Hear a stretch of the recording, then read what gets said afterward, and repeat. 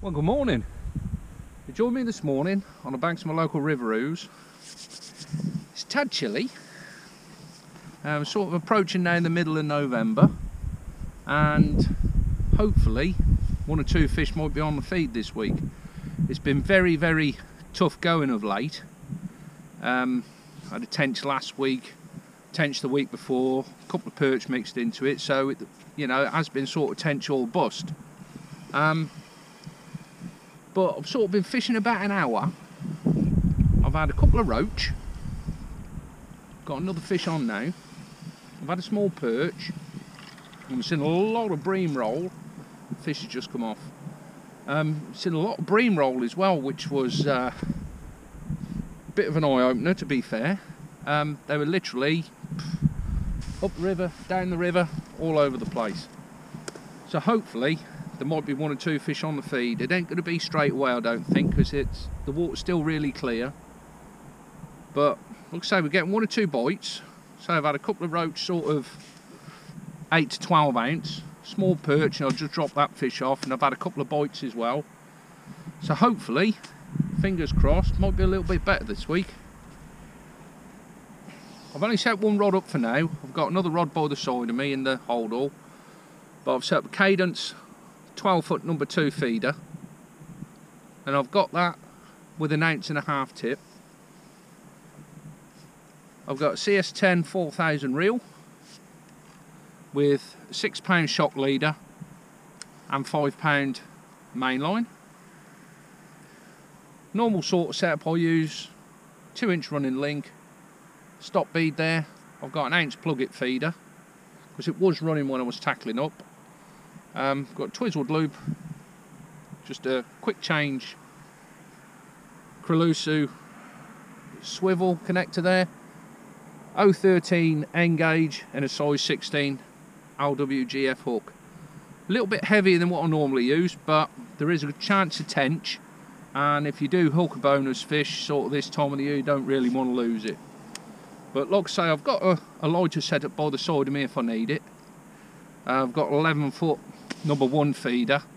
And that if I set that up that'll just be four pound line 20 hook and a double pinky. So we'll get this back out there. At the moment I'm fishing the worm. I'm um, fishing the worm tipped with a red maggot.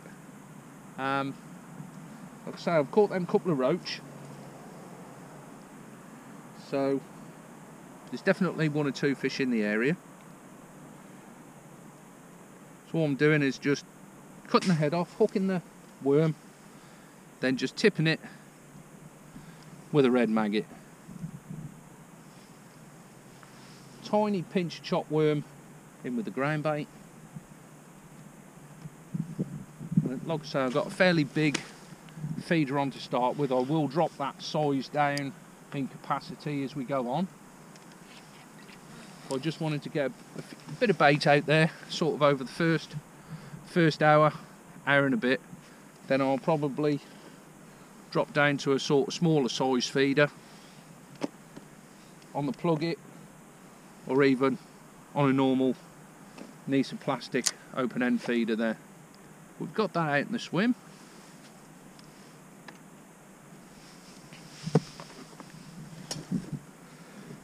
Ground bait today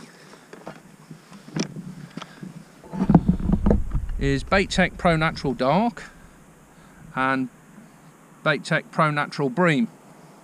As you can see there, it's a lovely dark mix. I've actually added a tiny amount of black dye to that as well, just to make it a tiny bit darker. Because the water has been very, very clear of late. And all I'm doing with that is just putting in a small tub by the side of me putting about three quarters of ground bait in and just topping it up as I'm going along. I've got some pinkies and some red maggots. I've got some dead reds and some dead pinkies there.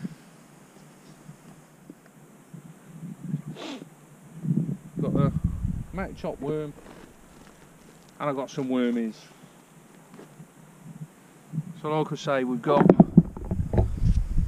plenty of bait to ring the changes, but I'm going to stop, stick with the worm for the time being. Like I say, I'm getting what I've had the odd bite.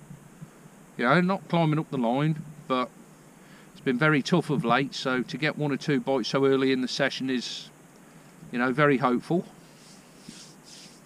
So when I got here, there was a lot of fish sort of moving about. They've eased off a little bit now since the as I was tackling up, the water was actually moving. Um, that sort of slowed off a little bit now. That is tripping through a little tiny bit. But those fish have, uh, as it started to get light, have sort of gone off the roll, which is uh, which ain't a bad thing, because uh, you ain't going to catch them when they're rolling. But it's always nice to see an indication and a sign of a fish when you move to a new area that you never fished before. Um, I've always wanted to fish this area. Like I say, it's, uh, it's fairly uh, new area for me. It's about, I would say around about 16 foot, something like that. I'm fishing just about, just past three parts and I've got that clipped up at the bottom of the bottom of the shelf there, so I'm in the deeper water. Like I say, if I set the other line up, I'm going to have that sort of clipped up at the same distance, but I'll probably also sort of cast down the middle and have a go. Bite. Could have been a line bite there. Um, sort of cast down the middle and have a go. Double pinky just to see. Look, so I've had a couple of roach just to see if there is any more roach in the area. Yeah, I'd say that was a line bite there.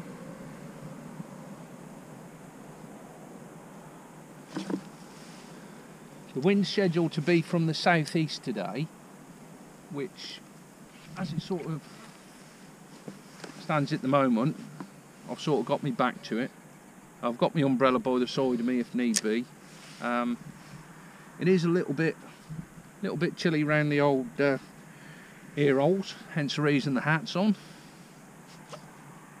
It is that time of the year when the old warm clothing starts to come out. But Said there might be a little bit of sunshine later, so that'll warm it up. We've got the flask. So we've had a couple of bites, so hopefully things are looking good, Mr. Bond. We'll see. Well, we've had three or four roach,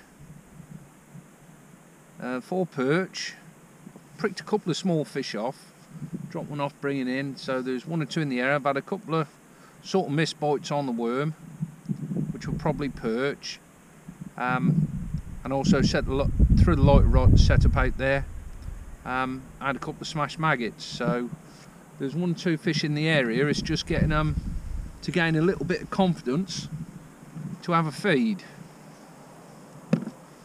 the light set up like I said before is cadence 11 foot number one feeder.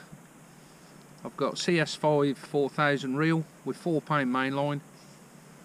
Just a small 22 gram Nisa on a running link. A couple of Stotz there, twizzled loop, same setup, quick change. And I've got a size 20 matrix super match hook and an 012 fluorocarbon. So it's a lot larger setup than what I'm sort of on the worm. But I've, I picked up a couple of fish on that quick. Then it went quiet again, so I thought just um, put the worm back out. Sort of leave that out there about 10 minutes. Just see what happens, and I'll pick the pick the lighter gear up and have another go on that again. The old rod's just launched round like a method bite for a carp and hopefully this is what we've sort of set out for, which is Mr. Tencho. Take it nice and steady.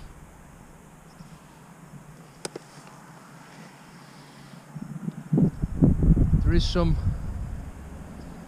vegetation in close to be aware of.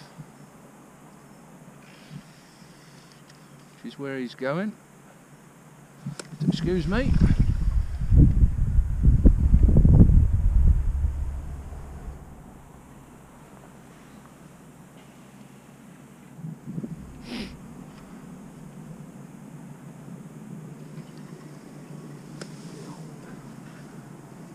Already.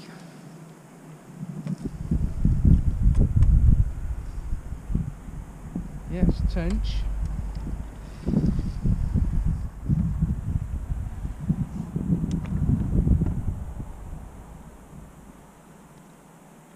And it's in the net.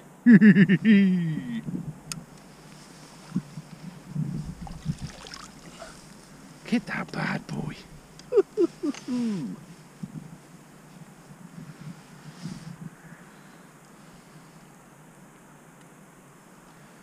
Lovely,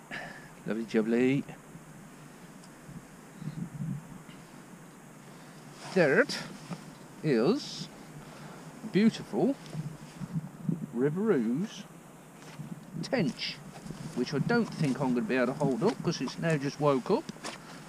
Come on, here we go, over there. Up day.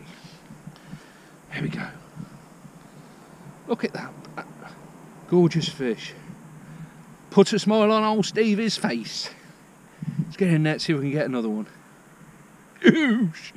well, deep into the afternoon now.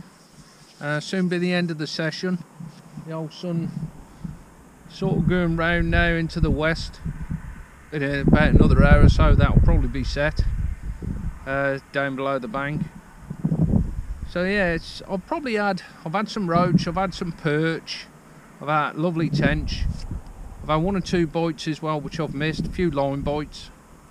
Um, funny thing is, most of the fish are foul to um, two small pieces of worm. Uh, I've had a couple of fish on the pinky, on the lighter rod, but uh, most of the fish, most of the bites have been on double worm. Single worm, nothing, put double worm on and get an indication. Sometimes been waiting sort of about eight, ten minutes for a small indication on the tip. You know, got a bite now. Missed that one. Out about six minutes. But there's one or two fish about. It's mainly perch. But uh, having a few perch about is better than nothing at all. I've had a few liners as well. Um, had a liner, last liner probably about 10 minutes ago. Where literally the rod just pulled round, stopped, then dropped straight back. So yeah, it just shows there's definitely fish sort of mooching about in the area.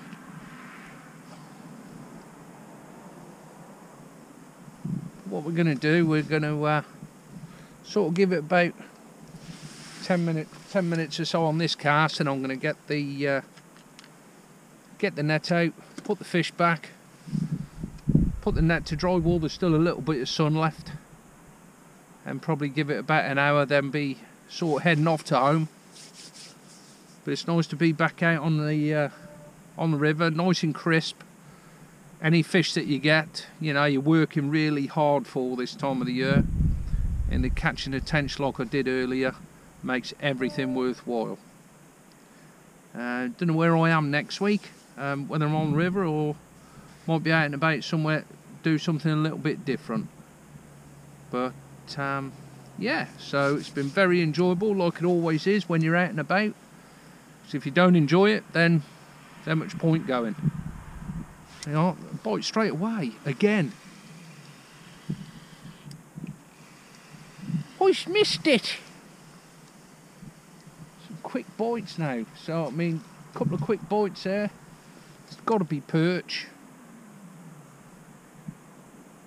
Yeah, the worm is ragged out, so... We'll put another couple of bits of worm on. We'll probably have about sort of 10 minutes and I'll put the net to dry and see if we can get one or two more fish then before we uh, head off for home. But if you've been out on the bank, hope you've had a great weekend and a good session and we'll catch you next time about. Oosh.